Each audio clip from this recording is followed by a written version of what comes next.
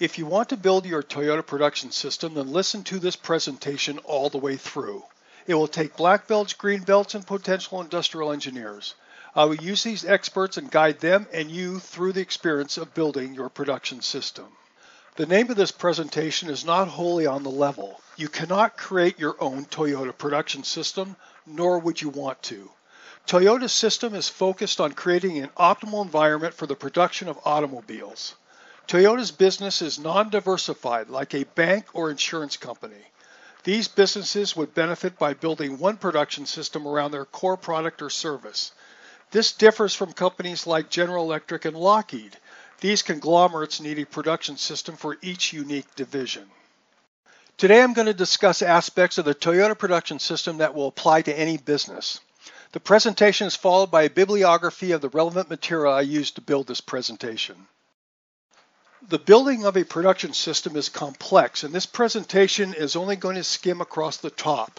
Because the material is extensive, the presentation will contain a lot more discussion than slideware. Jim Fitzgerald is from Lean Business and is a certified Lean Six Sigma Master Black Belt and Innovation Master. When you start the build of your production system, its success is based on your corporate history. Let's go through what I'm going to talk about today next. I will start off with a short discussion of Toyota's history, since it is intimately entwined in the development of their production system. I will also discuss the prerequisites of the company that is interested in building their own production system. Next, I will take time discussing the guiding principles that Toyota relies upon to give them direction and accountability. There is a pathway to excellence that you must follow in order to achieve the operational excellence that Toyota enjoys. Ability to build your production system extends beyond the walls of your business. That and other topics are discussed last. One important aspect of the Toyota production system is that it brings to bear the totality of Toyota on the production of automobiles. They have no doubt about what their business is. If you are in a single focus business, such as an insurance company, the concept of a production system would work well. If you are a conglomerate, then a single production system would be too unfocused and it would make sense to have a separate production system for each business unit. This is what I refer to as a maniacal focus on business. Toyota benefits through the use of extreme talent. They not only have extreme talent, but they use extreme talent and they grow extreme talent. You cannot be a leader without extreme talent. For instance, Taiichi Ohno, with a group of Toyota employees, visited a world-leading Ford automobile manufacturing plant after World War II. Toyota went to Ford to learn. What they noticed was that Ford dedicated lots of plant space for pulling off products due to defects. Taiichi Ohno knew that Japan was very materially poor and that Toyota could not produce enough cars to make a profit if they had the same level of waste that Ford had. Taiichi Ohno made a highly risky proposal that employees stop the assembly line if they came across a defect and did not start the assembly line until they had found the source causing the defect and either fixed it or created a workaround. This caused massive assembly line downtime, which was contrary to manufacturing best practices at the time. This philosophy has ultimately led to the high quality and lean manufacturing of Toyota automobiles today. At one point in Toyota's history, their company was at peril and subsequently decided that they needed to lay off many union employees. The short story is that the union balked. The result was that some union employees were laid off, some Toyota management, including the CEO, stepped down, and the remaining employees were guaranteed lifetime employment. Toyota was forced into this position. However, it has ultimately given them a competitive advantage. All of Toyota's employees are vested in improving Toyota, and Toyota uses that as a competitive advantage. Toyota has a mature continuous improvement program. Back before it was so mature, they averaged 11 improvement ideas per person per year. Every improvement idea is a change. Think of how much change Toyota absorbs every year. Toyota has a lifetime commitment to their employees, and their employees have a lifetime commitment to Toyota. Not every business is capable of the greatness of Toyota. Let's overview some of the prerequisites needed. It's not clear that Toyota started with a commitment to greatness. During the over 70 years of their history, Now there is an instilled commitment to greatness. Implementing a production system is not quick nor is it simple. It requires a commitment to greatness. That's what moves you through the low points. Leadership must be able to supply the corporate vision. Greatness is a culture that requires a vision. Since vision is an integral part of the continuous improvement program, then visionary thought will be taught. Since a vision is a look into the future, it cannot be precise, but leadership needs to be looking in that direction can't bolt on a culture. It is something that must be developed. Part of that culture will include your continuous improvement program. It includes a vision, and a big part of it also includes your corporate history. Culture helps point everybody in the same direction. A strategic focus on your culture is a prerequisite. Since a big step of building a dynamic production system is reliant upon every employee, everyone must be fully engaged. John Shook, a past employee of Toyota said that everybody in the company is an expert at what they do. Respect between different levels of employees is key to a successful production system. Just as a problem should be looked at as an opportunity to improve, learning should be looked at as a way to increase corporate knowledge. Learning is what lets you accelerate continuous improvement, and it also is seen as one of the three pillars of innovation. When I worked in biochemistry, I always thought there should be a journal on experimental failures. Think of failure as an opportunity to learn. A culture of learning is critical. Mistakes are not failures, but a systematic part of learning. If mistakes are looked upon as a failure, then the willingness to take risk is mitigated. Toyota's production system is ingrained in their culture. Also ingrained in their culture are 14 guiding principles.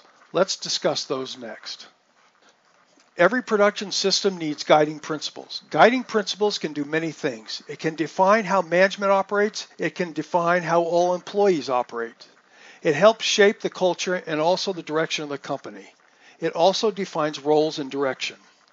Toyota's 14 guiding principles, also known as the Toyota Way, are for Toyota and their business. When you make your production system, your guiding principles direct your business. Toyota's guiding principles are just an example.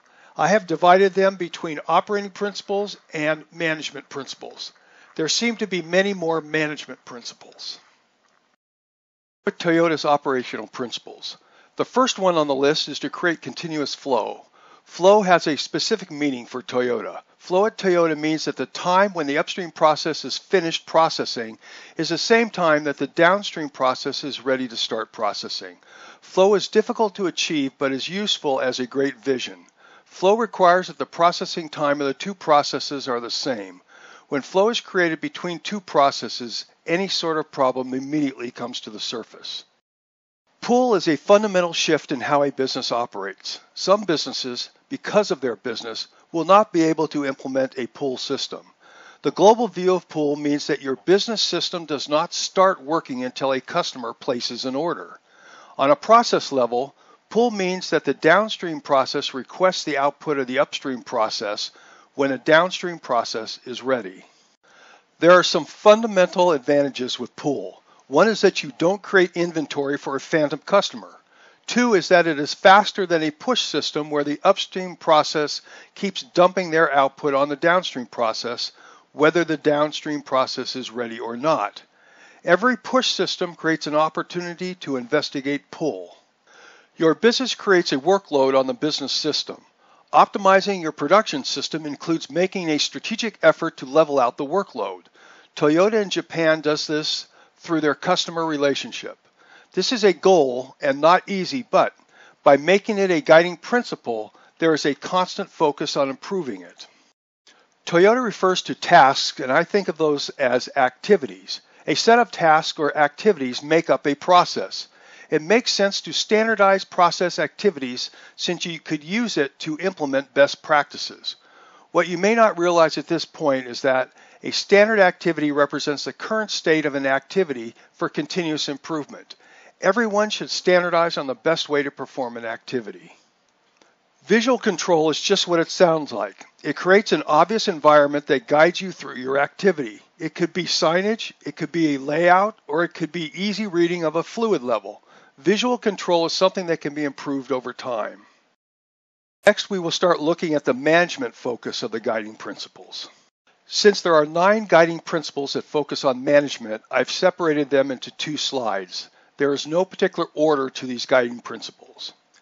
You might feel like we've picked the hardest guiding principles to talk about first, and that may be. At Toyota, they focus long term and they have found that they can attain their short term goals by doing this, and it also increases their competitiveness. There are some American companies that do this, and one is an electronic company that is constantly leading in their industry. This is a balance between short term and long term thinking. Consider shifting that balance towards long term. I think the hardest word in this next principle is stop. There is a lot of pressure in a normal business to meet a production milestone. There is also a penalty for making a milestone by producing defective products and services just to meet that milestone. Whether it's claims processing or manufacturing, the only way to focus people on quality is to make it part of the culture.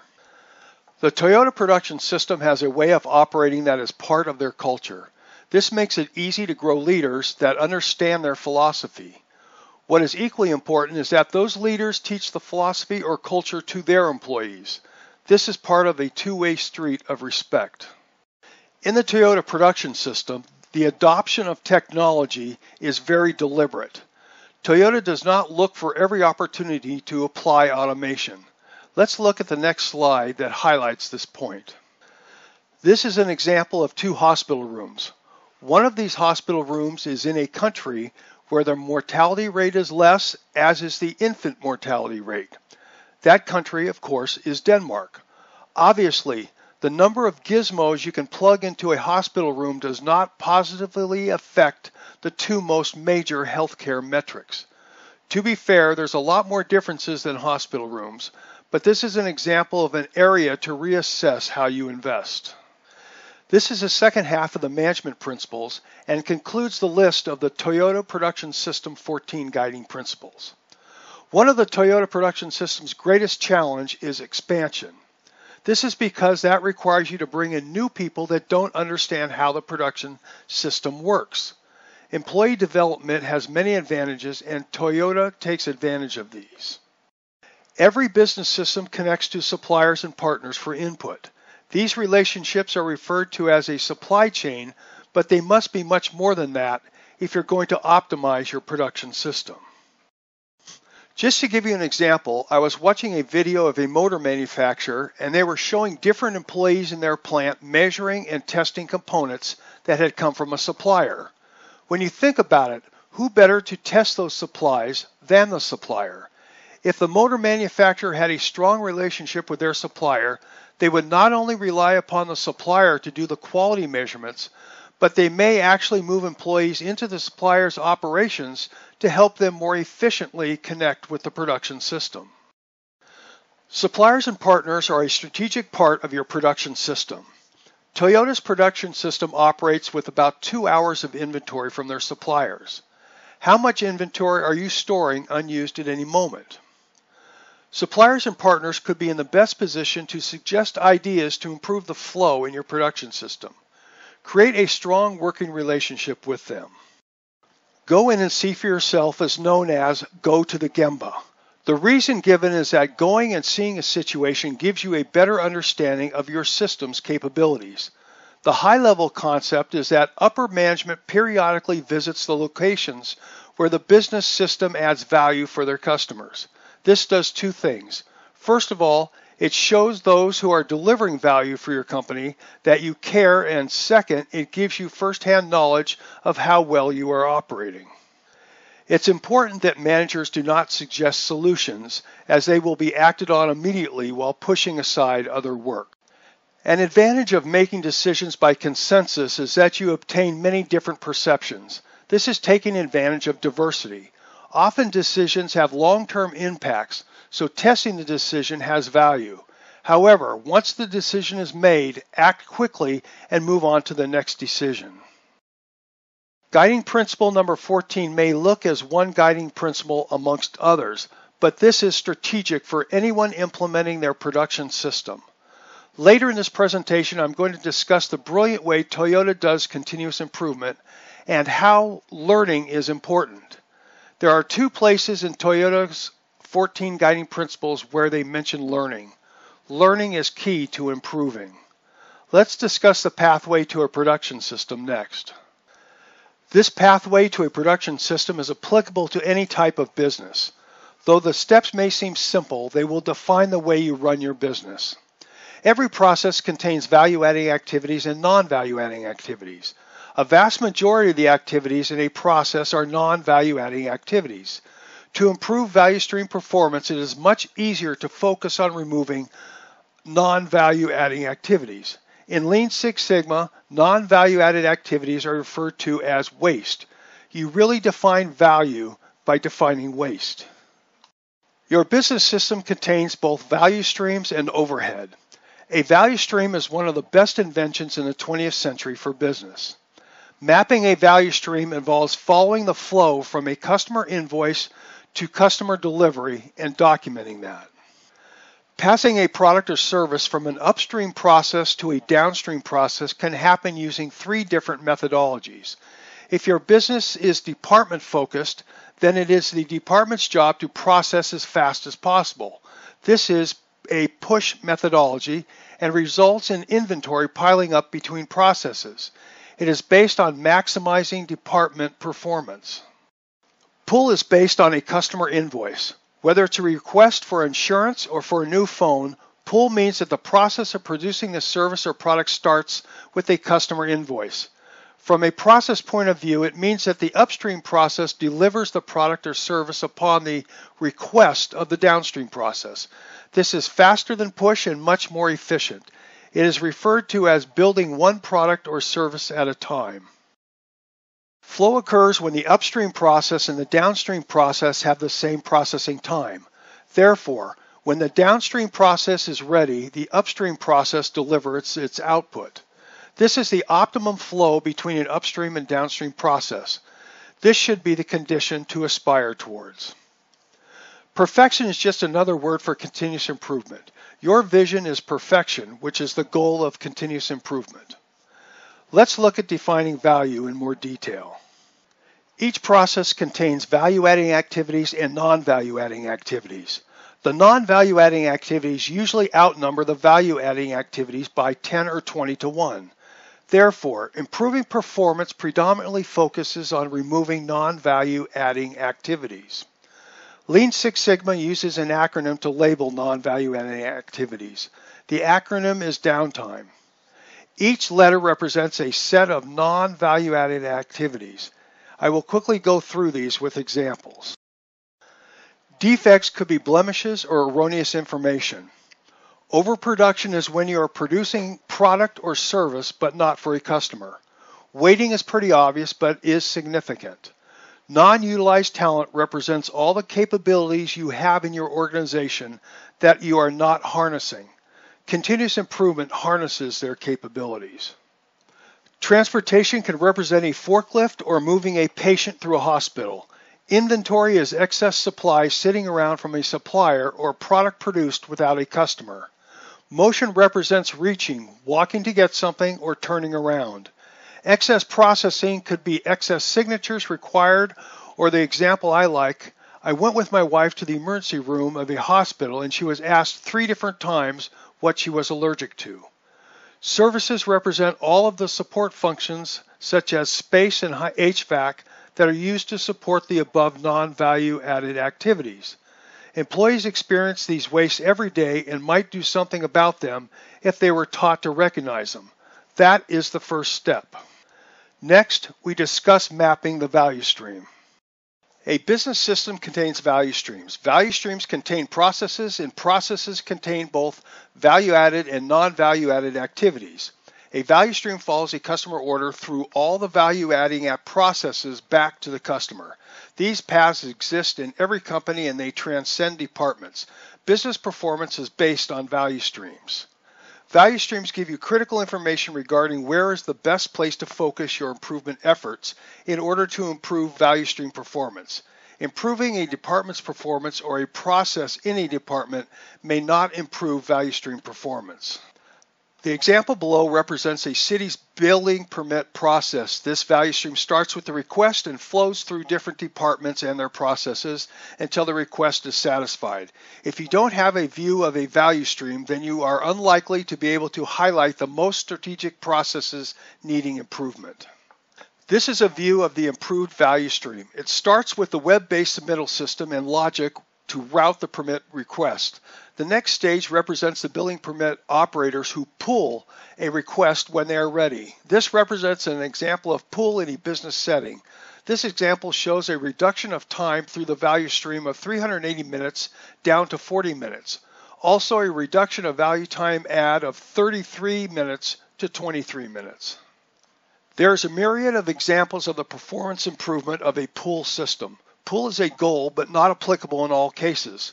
Pull through a value stream is easiest to implement if the customer orders or requests stay constant. Erratic customer requests can make pull very difficult. One goal of your production system is to level out customer requests. In the example below, the nature of building requests is relatively level day to day. The optimum business would flow value add for their customers. This precludes a pull system. Flow means that the downstream process receives the product from the upstream process right when it finishes its value add. Often manufacturing factories will attain flow in parts of their value streams. The same could be true for any business. When you implement flow, it will be easy to highlight any inefficiencies. Flow also allows you to see where to add resources to improve value stream performance. Though flow is difficult to implement, it represents a wonderful vision. Perfection is wonderful but unattainable. That makes it a perfect vision. Continuous improvement has many advantages. It aligns the whole company to march in the same direction. It engages everyone in the company. It, everyone in the company contributes to company success. It creates a culture of change. It creates a dynamic company. Continuous improvement is strategic. Toyota's kata policy propagation, realization, and continuous improvement is a key to Toyota's production system success.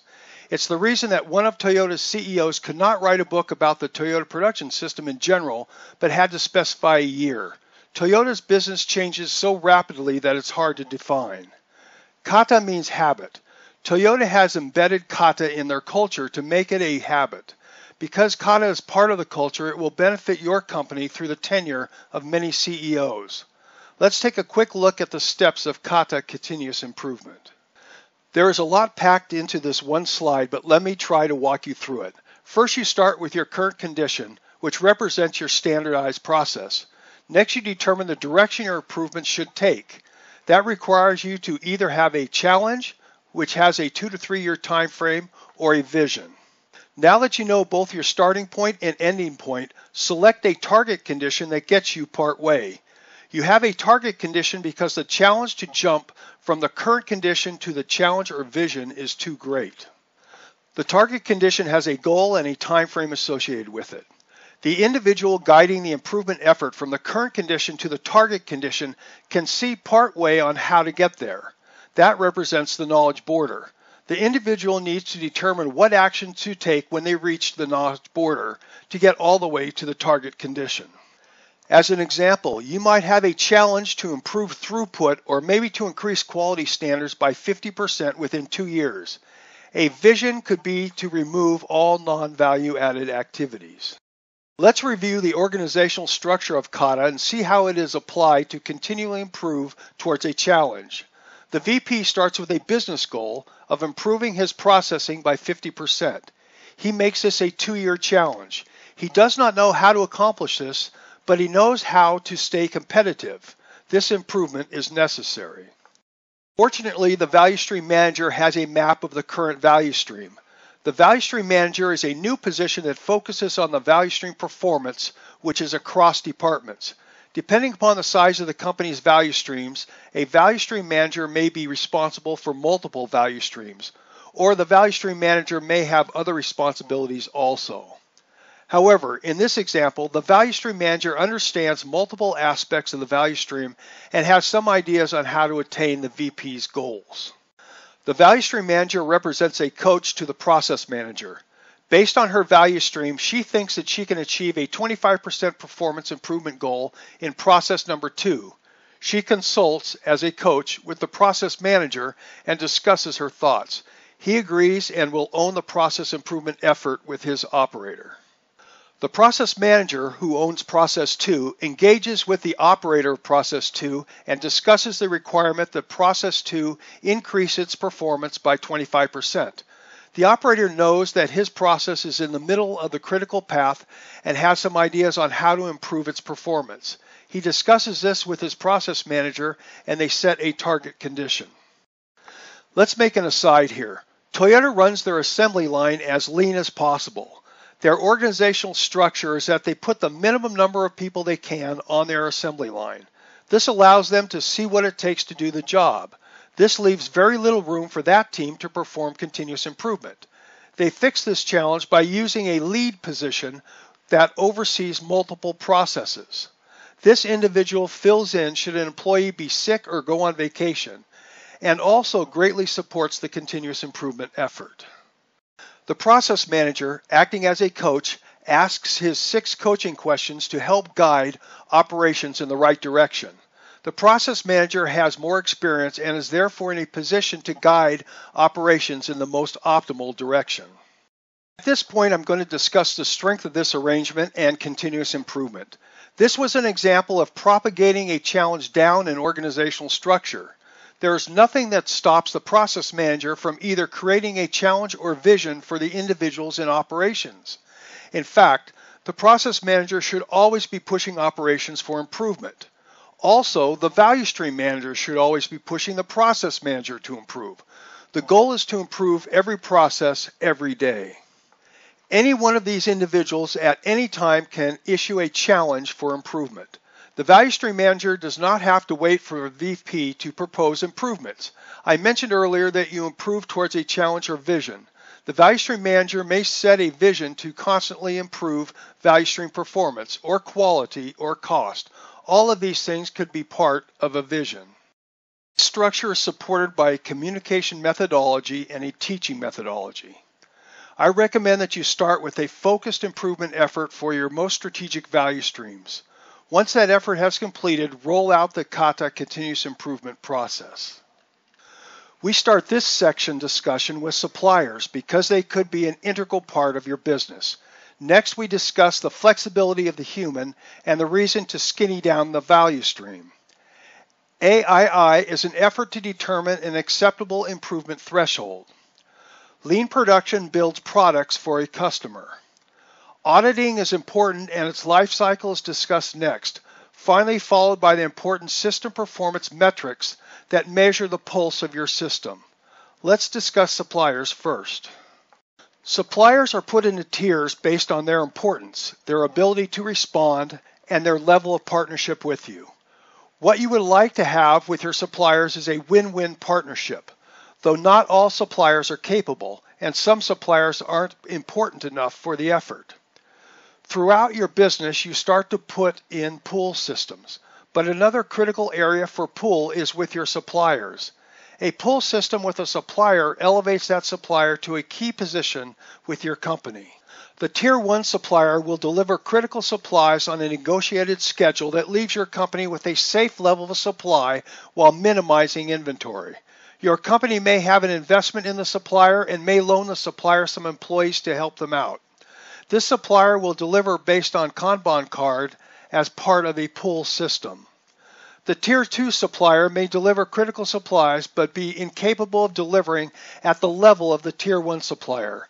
Another case could be that the Tier 2 supplier is not as critical to your company as the Tier 1 supplier.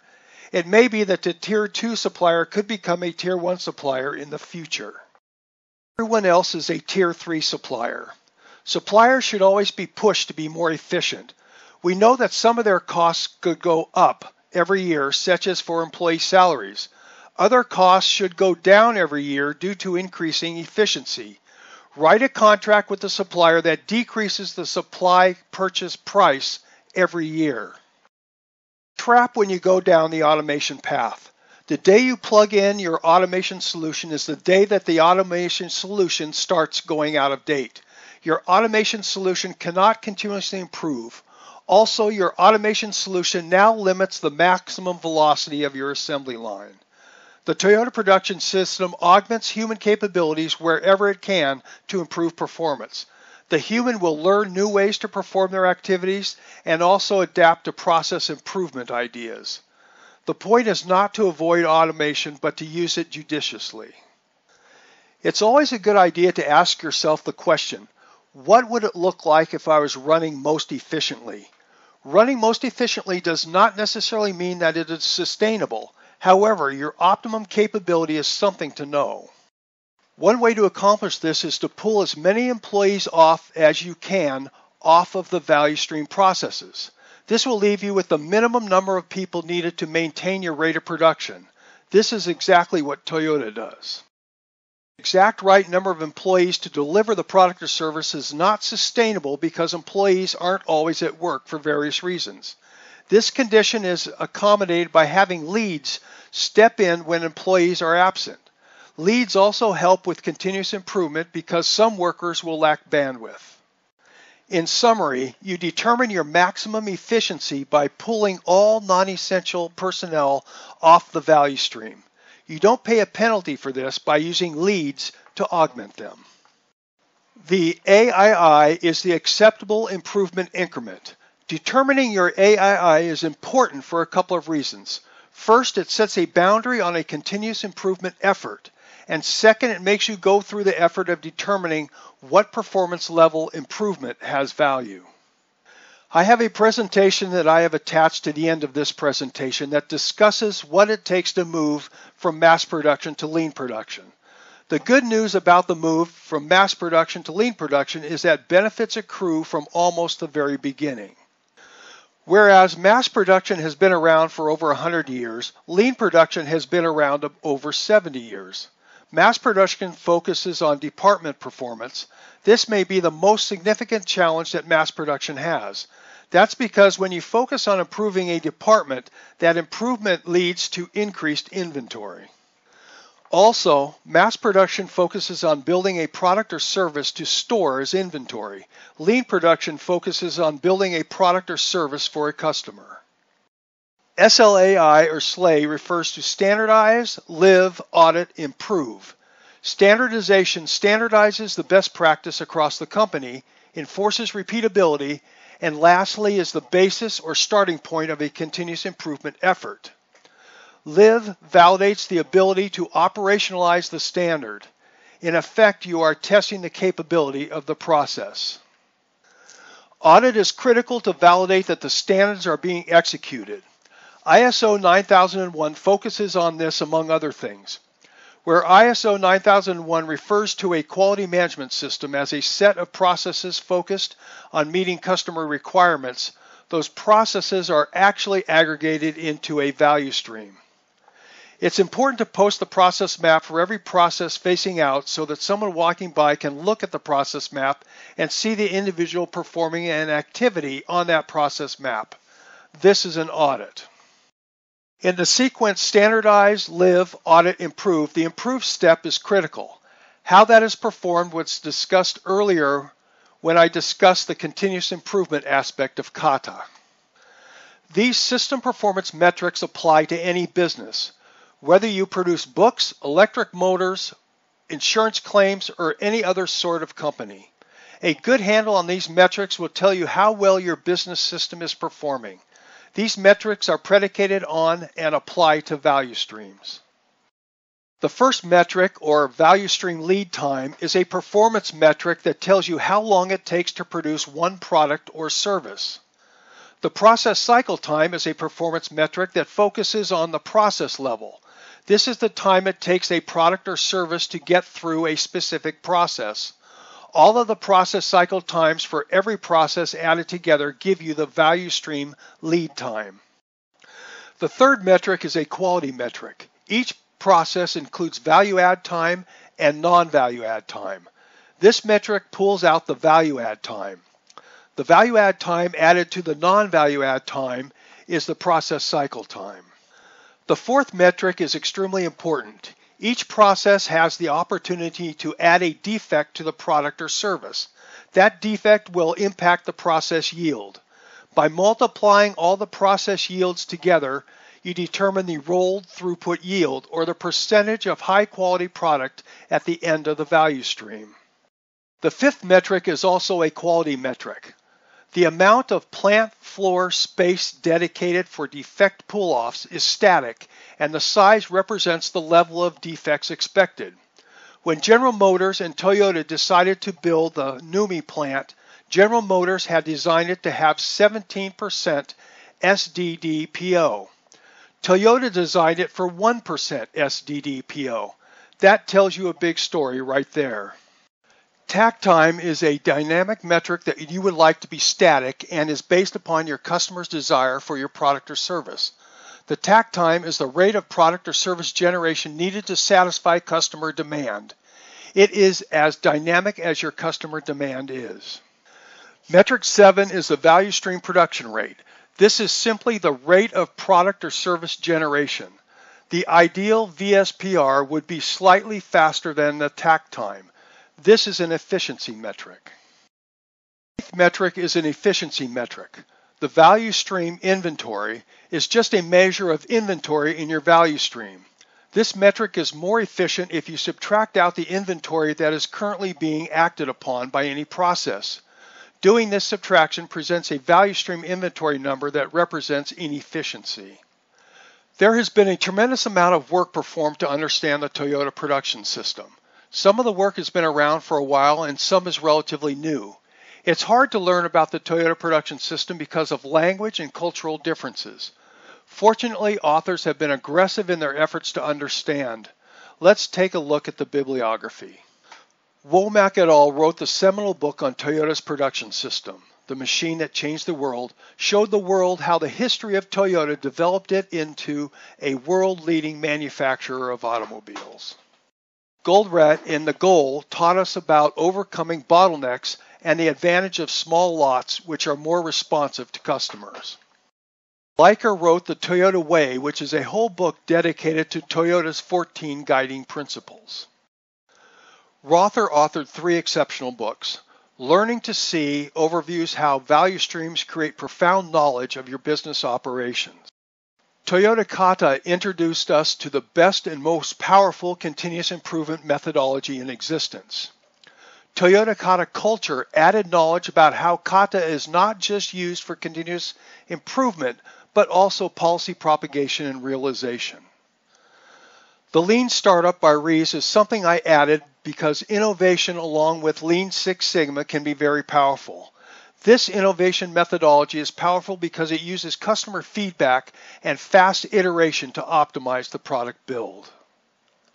Treacy and Wiersema wrote a wonderful book that analyzed excellence in business. They found that excellent business leaders focused in one of three areas innovation, operational excellence, or customer intimacy.